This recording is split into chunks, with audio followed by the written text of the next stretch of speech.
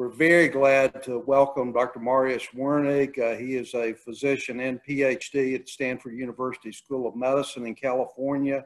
He'll be talking about microglial engineering to combat Alzheimer's disease. So thank you so much for giving me this uh, opportunity to um, to speak to you, and of course for this amazing uh, support. As my uh, you know colleagues have mentioned, these type of awards really mean so much to us uh, because those are little seeds in like new types of research that we are planning to go, which we would never be able to do uh, from like sources like the NIH. They, they really want very, uh, a lot of uh, preliminary data uh, to support the claims. So to really get to something new, it takes you know, people like you. So thank you so much for this. I will talk a little bit more about this cell type um, that uh, was already mentioned before. They are called microglia. And we um, have made some really exciting uh, progress to manipulate these cells in the brain. And we think this is a really nice uh, um, sort of new potential to, to use this system to hopefully combat Alzheimer's disease. So by way of background, uh, I'm a, a, clinician scientist uh, working at Stanford. My, in my clinical life, I've actually trained as a neuropathologist. So actually I've seen a lot of um, brains um, in autopsy that were unfortunately affected with the, with the disease. So clinically I know of the disease um, quite a lot. Uh, in my uh, sort of, um, as a, my, my, science life, I'm a stem cell biologist. So we try to use uh, stem cells to find new cures and understand human diseases better. And we are located in this uh, beautiful building here, um, the Stem Cell Institute at Stanford. Um, I always like to start with this picture because it always reminds me um, how important it is to um, stay visionary. And in particular, uh, this painting fascinates me because as you can see down there, I put the, the lifespan of the painter here. Uh, this is about 500 years ago uh, when people had already this dream that it ought to be possible to enable rejuvenation.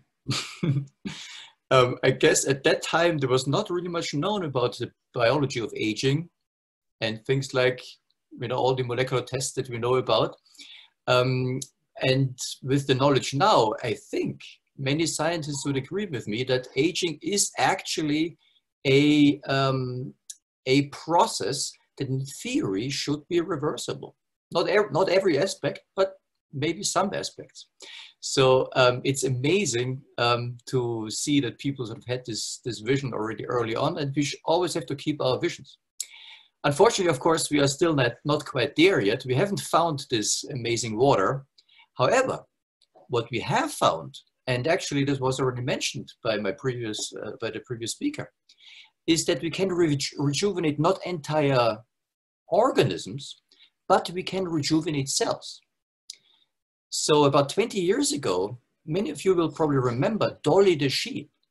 Dolly the sheep was, as we, as we called it back then, was cloned from an adult cell.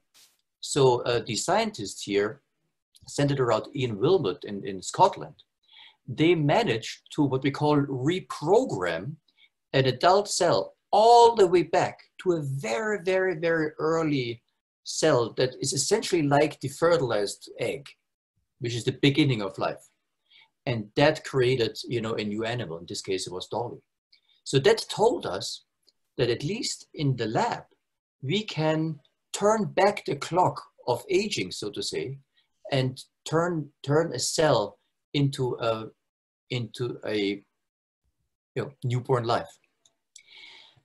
So this was done with um, transferring this adult cell into, a, into an egg. So we, from a mechanistic point of view, we didn't really know what was going on. We just knew that it's possible to do it, but not really how the cells are actually doing it.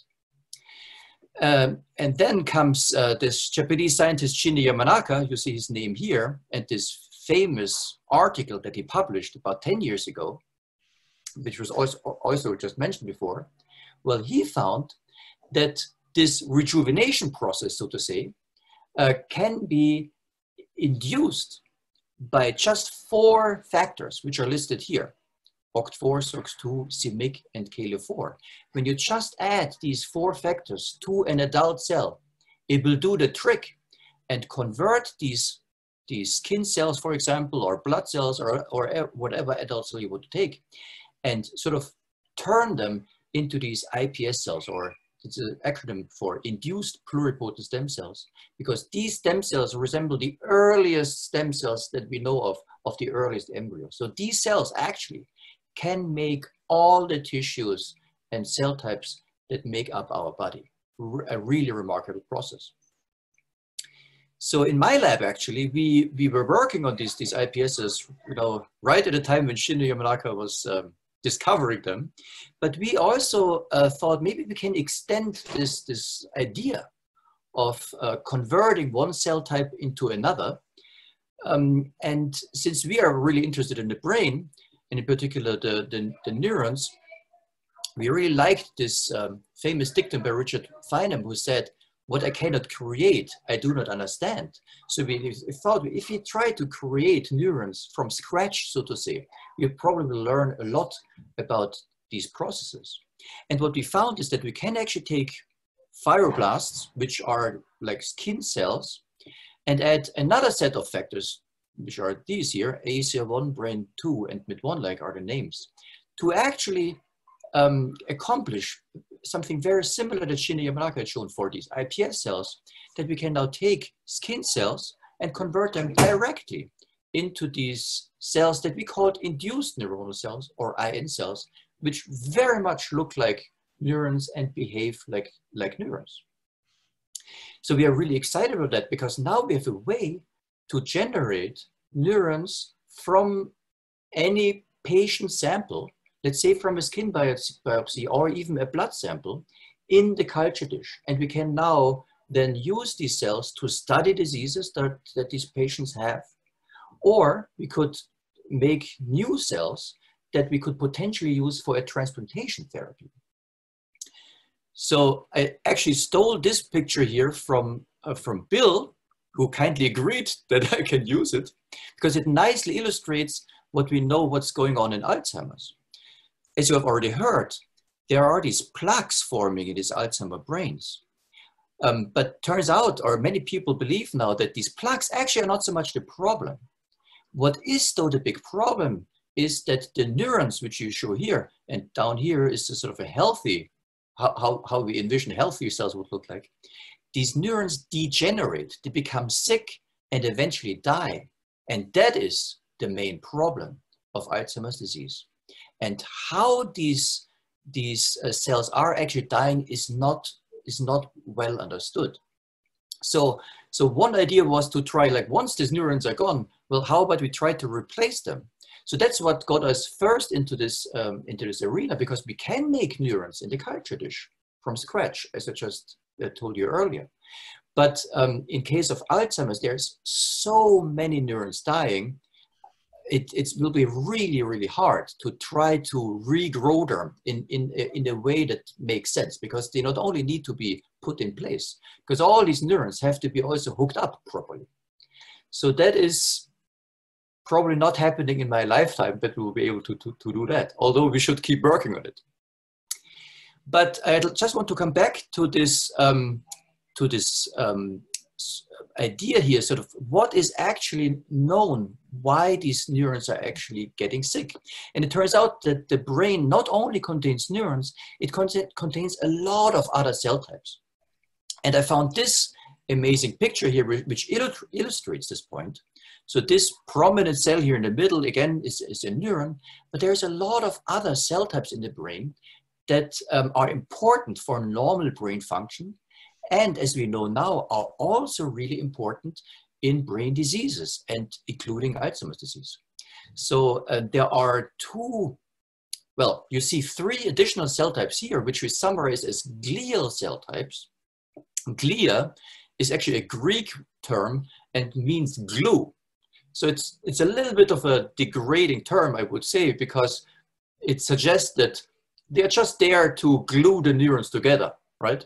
But it turns out that um, their function has been very much underappreciated and they're probably much more important than we have thought for a long time. So these glia cells come in three flavors. There are um, these microglia cells, which have been already been mentioned in, in the previous talks. Um, there are um, astrocytes uh, that are um, depicted here in this, as this yellow cell, and there are oligodendrocytes. So I want to focus uh, now mostly on, on these microglia. Um, and the reason is because I told you about you know, our dream to sort of uh, transplant cells into the brain, potentially replace cells in the brain for a therapeutic um, benefit. So it turns out that these microglia cells are a little distinct in their um, lineage from the other cells. They are actually derived from a blood progenitor cell. And these microglia cells, you can call them also the immune cells of the brain. So it turns out when you do a, um, a bone marrow transplantation, and I apologize, the next few slides look a little scientific, so I will try to walk you through them. So what we, what we have, uh, what, is, what scientists and clinicians have noticed is when you do a bone marrow transplantation, for example, when you try to cure a leukemia, you do bone marrow transplantations, you replace the, the bone marrow with blood cells. But what happens is that also these microglia cells in the brain seem to be um, replaced, however, in a very, very um, inefficient way and only very few of them.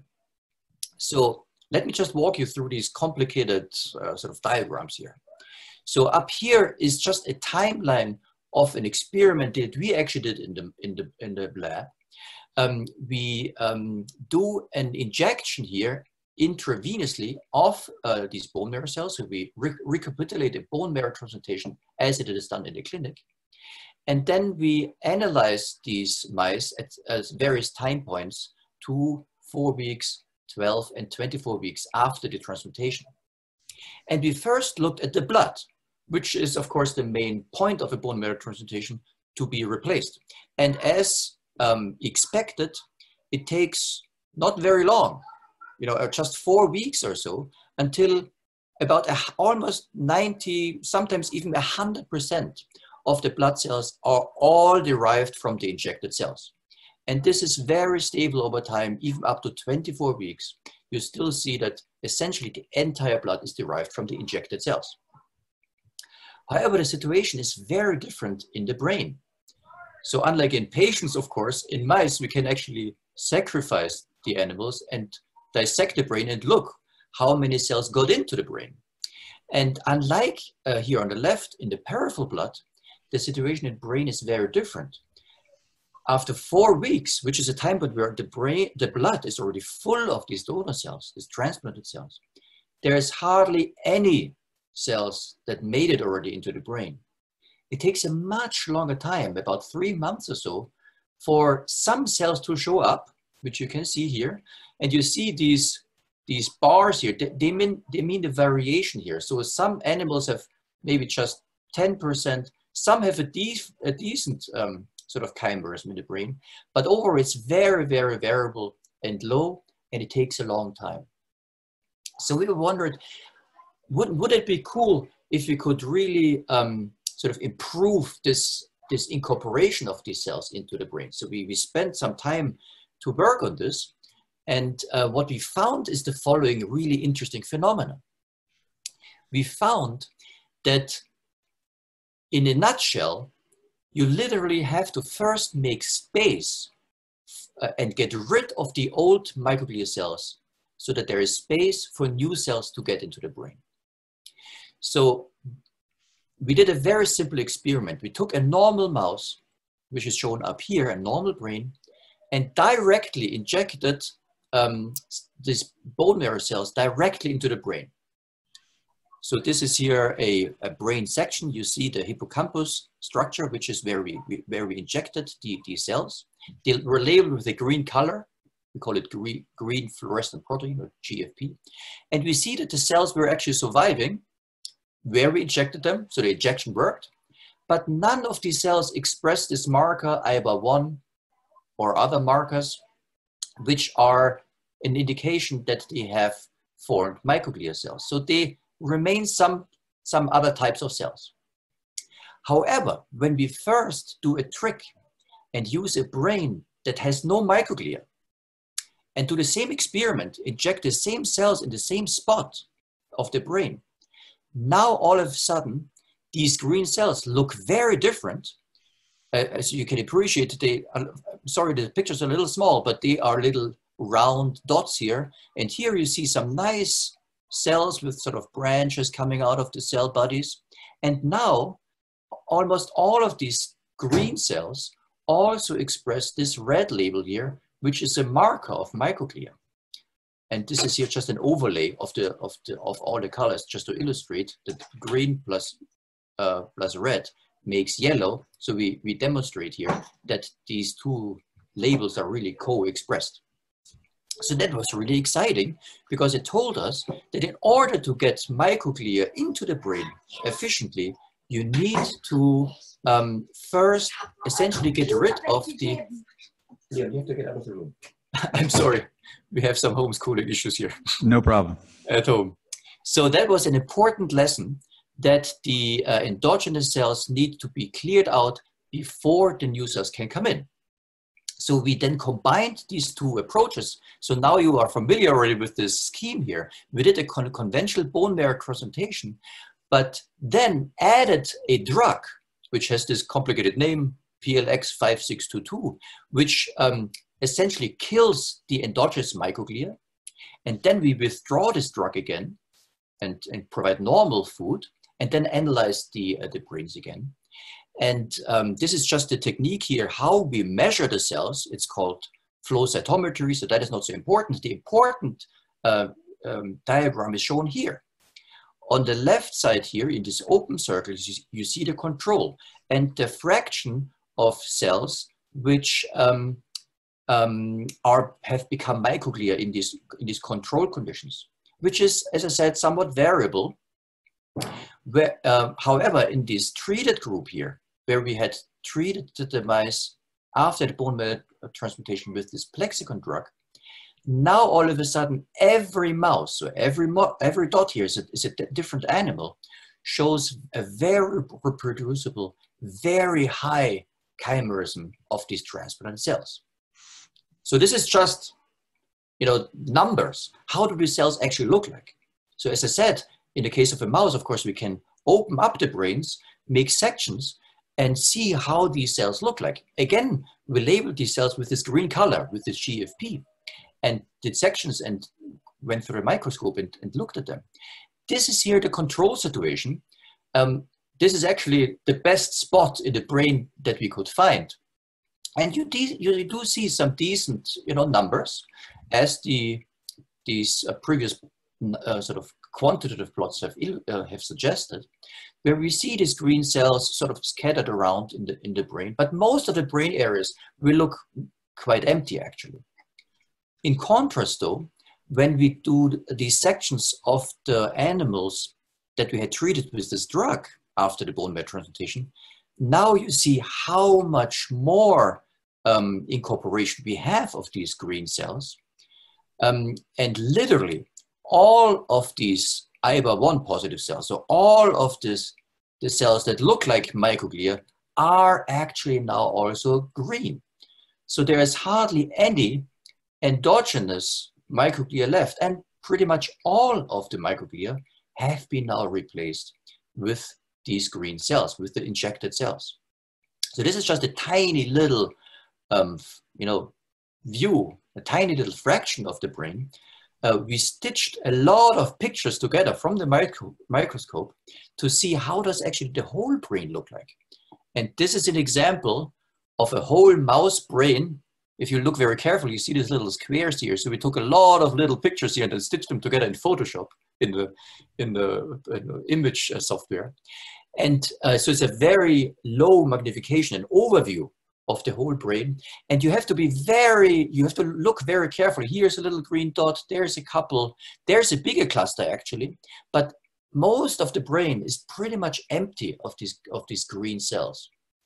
But this is the situation here in, in our modified, in our new protocol, where literally the entire brain is full of these transplanted cells.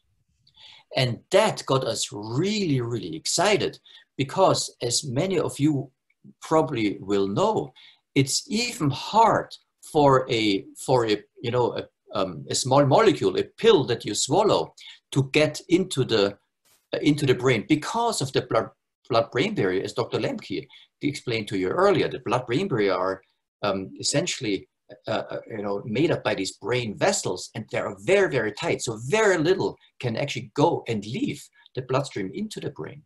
So it's very hard to get anything into the brain. However, in this condition here, uh, we can get a lot of cells into the brain. So we have access to the entire brain. So being a, you know, a, a clinician thinking a lot of neurodegeneration, one of my first thoughts was, how could we could we somehow exploit the system for a potential uh, sort of treatment option? An important question to be first asked is, of course, these green cells, they um, express this marker and they sort of look like microglia, but they're replacing the old microglia. Are they really exactly identical to them? And the answer is no. So when we look very carefully, here is um, just an image how normal microglia look like. Here in a sort of overview, you see a couple of these cells, and here in a higher magnification of this little box here, you see those are beautiful cells with very long, fine branched processes. Well, this is here a situation 12 weeks after transplantation, how our cells look like, these cells that invade the brain after the bone marrow transplantation. Well, they look somewhat similar, and they express the proper markers, as I said. But when you look at these, these fine processes, processes here, they're a little, a little thicker. They're not as beautifully branched and fine. They're, they're little, sort of look a little clumsier. Um, when you wait a couple more weeks, then things look a little bit more similar, right? So these branches uh, are becoming finer and more, um, and the cells are a bit more spread out, but they still don't quite reach the same level of, of endogenous microglia. So we don't know at this point um, whether these small subtle differences matter um, and whether these cells have the full functional property of these microglia. It seems from, from these data and from some additional analysis that we have done is that these cells are a little bit more, we call it activated. So it seems that these cells have a little bit more um, of, of a reaction as if they will sense that something is going on in the brain. But whether this has a, a functional um, impact on, the, on these mice, that's something we don't know yet. Nevertheless, um, so that is sort of our dream. Now we know that we can replace literally all microglia with these with these blood uh, uh, cells, and we actually now know um, with data that I didn't have time to show you, that it is actually the blood stem cells themselves that are the most powerful of getting into the brain. So we can take a blood sample, peripheral, uh, um, um, mobilized uh, um, blood, so there's an, um, a clinical procedure where we can enrich for these blood stem cells. We can take them, take them in, in culture. We, we could actually introduce, for example, a therapeutic gene that we think may have um, a beneficial role in these cells, then do this transplantation pr procedure, and then all these microglia cells in the brain will be replaced with, with these cells where we can um, uh, have these cells release something that could sort of try to interfere with the, with the disease process and try to halt the progress of Alzheimer's disease. So just want to come back to this picture again. Um, so what is actually known about what makes these neurons sick and how could we potentially use these microglia cells as a, as a vehicle or as a, as, a, as a sort of foot in the door to try to stop this process?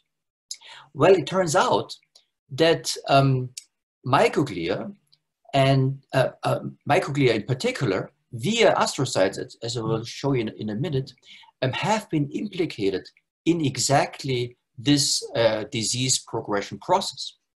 So it turns out that uh, there is a lot of genes and I hope I can, you can, can see this, and actually the details don't matter, it's just a, a lot of gene names. Maybe I just want to highlight one of them, which is ApoE, which you have heard a lot about already in the, in the previous talk, which turns out to be is highly expressed in these, in these microglia. But there's a lot of other genes that are um, mutated in Alzheimer's disease and confer a risk factor to develop the disease that are actually microglial genes.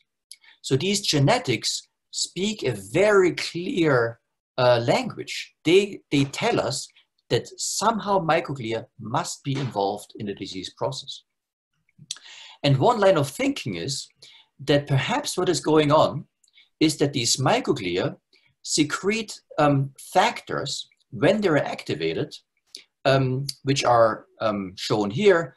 Uh, uh, scientists call them cytokines, small little, um, small little molecules uh, like proteinase, uh, uh, protein little molecules, peptides that uh, can that signal to other cells, including these so-called astrocytes.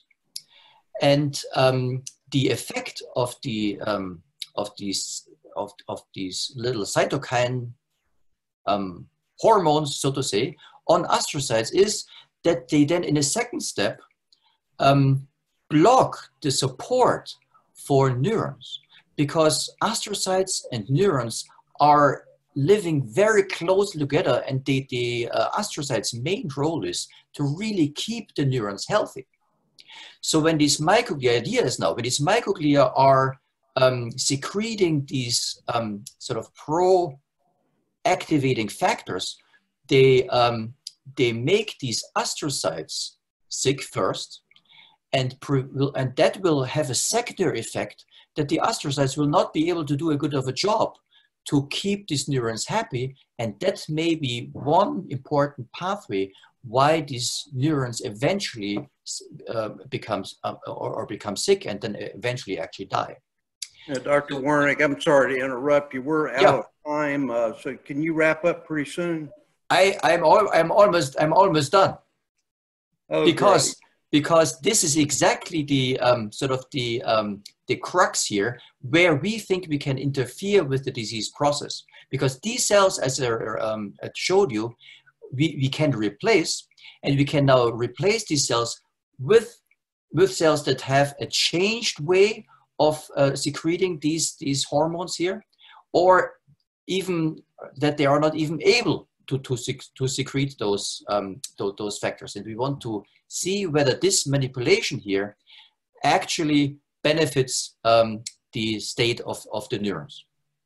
So I just illustrated with two more slides our, our aims, what, uh, what we exactly want to do with the, um, with the grant that we were so fortunate enough to, to receive. So we we are, have, uh, we have two approaches. One is based on, again, of these iPS cells that were mentioned already before. We make in a human uh, artificial tissues. Some people also call it mini brains, as you've heard before. And we can also add these microglia into these mini brains.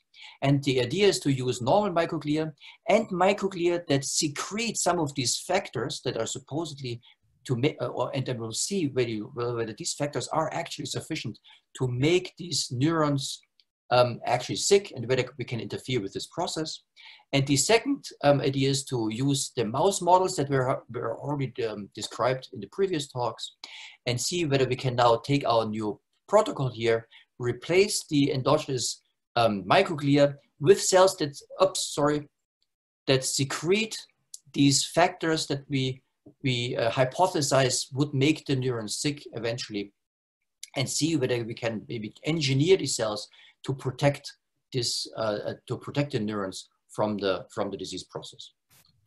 And um, this is just my thank you slide. Again, uh, thank you so much for this uh, amazing opportunity. I want to just give a shout out to my amazing postdoc uh, um, under the name of Yohei Shibuya, who did all the work that I showed you and who will um, um, execute these experiments. Thank you so much.